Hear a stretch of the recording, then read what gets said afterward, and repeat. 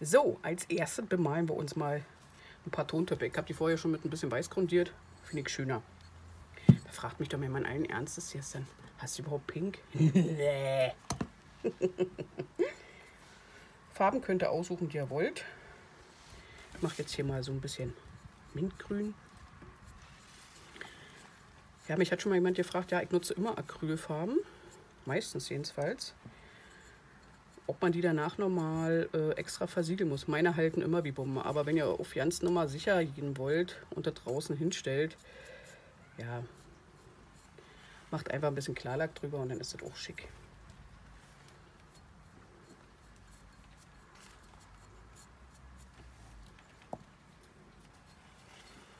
Der Vorteil ist bei den Temperaturen, da trocknet alles so schnell. Glaubt man ja nicht. So, diese Sommerfarben sind ja was flottet, war. Ich liebe das.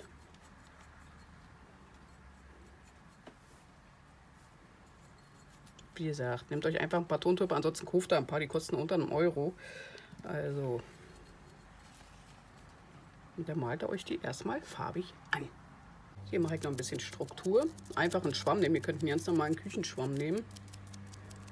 Und dann vertupft ihr eure Farbe ganz normal da drauf. Und so kriegt der Pottenklee ein bisschen Struktur. Simpel, wa? So könnt ihr auch schöne Farbverläufe machen, wenn ihr denn möchtet.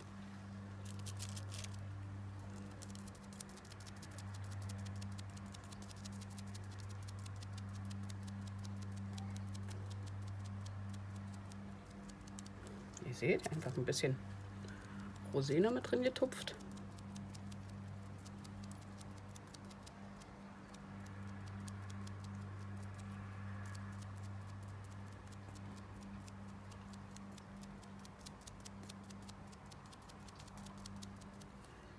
Diese wunderschönen Flusskiesel, wenn man die in der Nähe hat oder sonst, kaufe ich mir einfach für einen Fünfer immer auf so eine ganze Platte beim Baumarkt. So, dann nehmt ihr eure schönen Flusskiesel und dann malt ihr sie an. Erstmal in den schönen Kaktusgrün.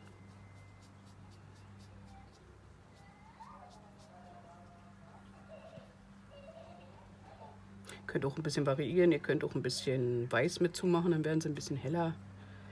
Könnt auch ein bisschen, dunkler. Das macht er so, wie ihr möchtet erstmal. Ich pinsel immer erst, ich mache das ich pinsel erst immer eine Seite an. Lasst es dann trocknen und dann wende ich sie. Macht sich am besten. Und habt dann hier so Fingerabdrücke und sonst mit drauf. Macht sie schöner. Ich habe auch einen kleinen, dicken Runden gefunden. Ja. Machen wir auch einen schönen von. Wie im Jatten so alles findet, wa? Die malt er auch ganz einfach grün an. Und dann brauchen wir nachher natürlich den Steinkleber, den Natursteinkleber. Da will ich dir noch ein paar aufeinander setzen. So, und bei den helleren könnt ihr schon mal so ein paar dunklere kleine Highlights setzen. So.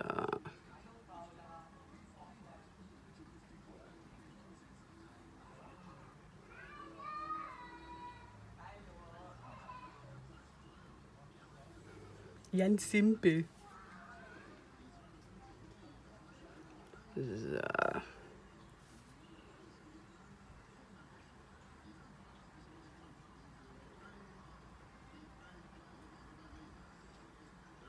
Muss jetzt nicht so perfekt sein.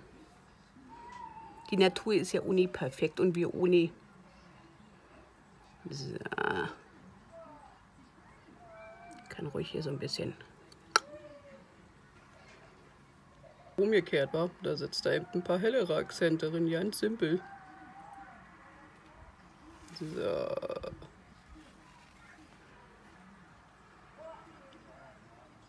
So. Ganz simpel.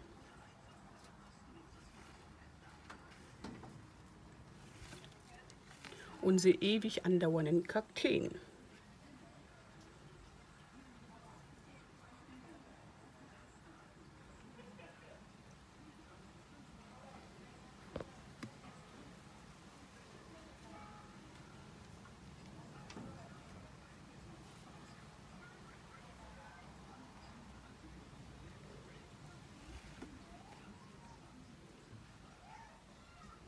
Mein kleiner grüner Kaktus. Ah, ist die Hitze, ist die Hitze, Leute, ist die Hitze. Darauf schieben wir jetzt alles. So.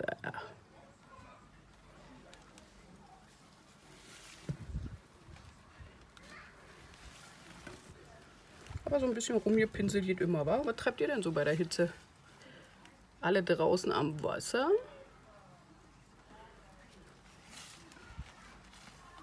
Ah, das ist so wurscht. Also, wenn ich so einen hier sehen sehe, was da so rumkraucht. Oh, nee, das ist nicht meins.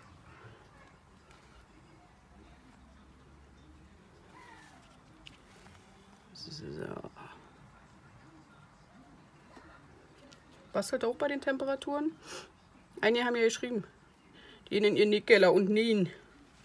Oh nee, drin nähen kann ich jetzt gerade. Nee, ich könnte mir die Nähmaschine auch nach draußen stellen, aber nee. Das will ich auch nicht. So. Wie gesagt, ihr könnt auch mal wieder ein paar hellere Highlights so ein bisschen reinsetzen am Rand.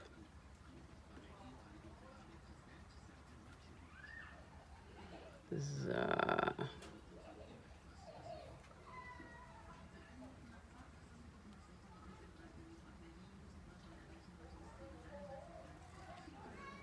Habt ihr alle schön den Blutmond gesehen? Der war cool, war den Vollmond. So.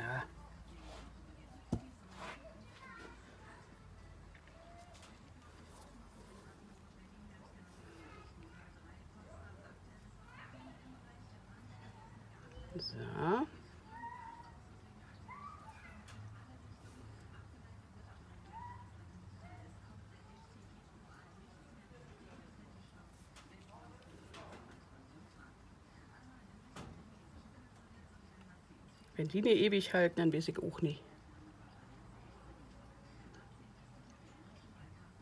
So, nachher werde ich gleich den Liebsten nochmal besuchen fahren. Finde ich, gehört sich auch so. So.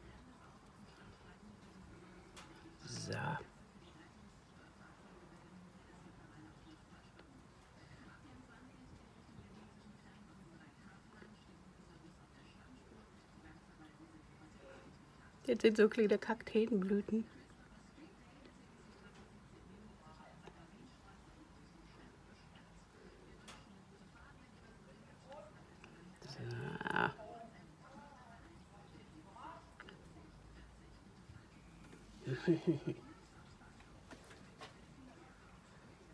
Wir werden die Kakteenzauberer. Blütnerin. Nimmt irgendwas Spitzet, geht auch ein Pinselstiel oder sonst jetzt. Und dann zaubert er da ich so ein paar kleine Punkte hier so.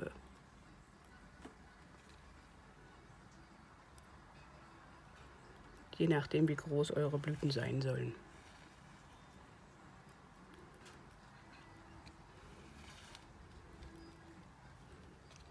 Natürlich müssen die rosa sein.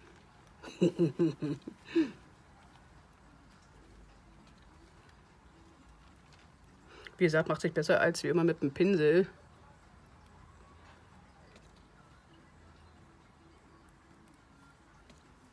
Aber tut auch ein Rückteil vom Schaschlikspieß zum Beispiel. Oder nimmt einen Zahnstocher.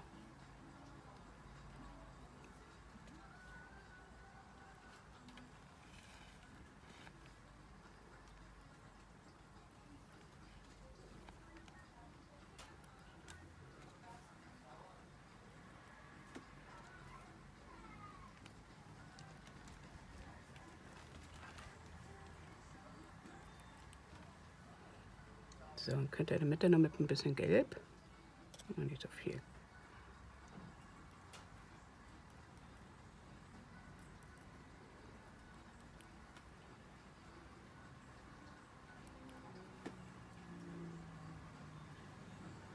Seht ihr, wa? So, dann nehmen wir unseren wunderschönen runden Kaktus. Mhm.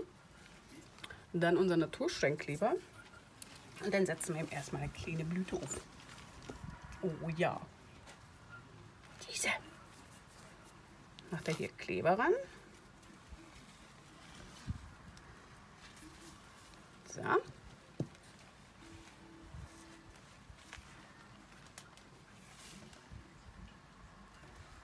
Dann kurz festdrücken. So. Da haben wir einen runden Kaktus. Das wären meine kleinen Mini-Blüten. Hm. So, ihr Hase, ich habe da ein bisschen Glitzer drüber gemacht. Logisch. Natürlich wieder war mit diesem Natursteinkleber schön zusammengeklebt.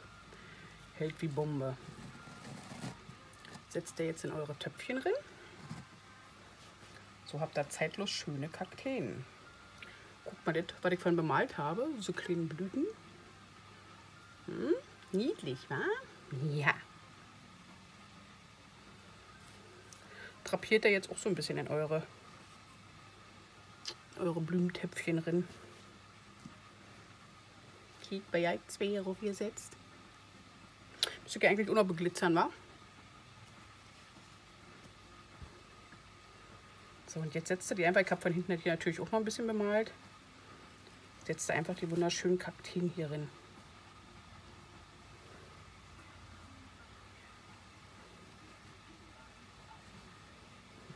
Könnt auch nur Steine im, im Top machen.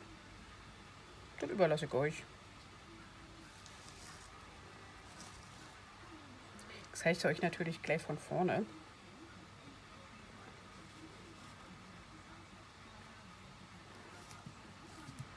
Hier kann ein großer rein.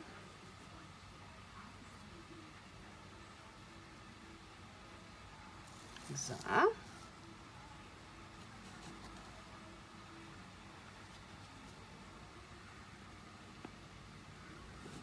Ihr könnt auch so Füllerin setzen, wie euch beliebt, wie ihr Lust habt.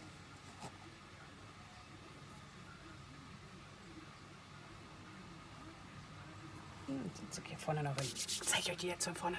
So, ihr Lieben. Schaut da mal. Was das für eine fetzige Gartendeko ist. So einfach gemacht, so simpel und macht so viel Spaß. Wie gesagt, mit den Natursteinkleber könnt ihr da Blüten raufkleben oder sonstiges oder so zusammenkleben. Ich finde das so fetzig. So mal ein kleines schönes Geschenk war zum mitzunehmen auf eine Jagdparty. Wer will, kann ja da noch ein kleines Teelichtchen rinstellen. Kann ja auch nicht mit passieren. Mir hat es wieder riesen Spaß gemacht. Für alle Kakteenfans muss. Genießt den wunderschönen Abend. Wir sind immer noch, ich weiß nicht, 19 Uhr, 31 Grad. Boah. Guck mal da, meine schöne Libelle. Von Katja. Katja Haras. Ja, Drahtjob. Passt sehr schön dazu.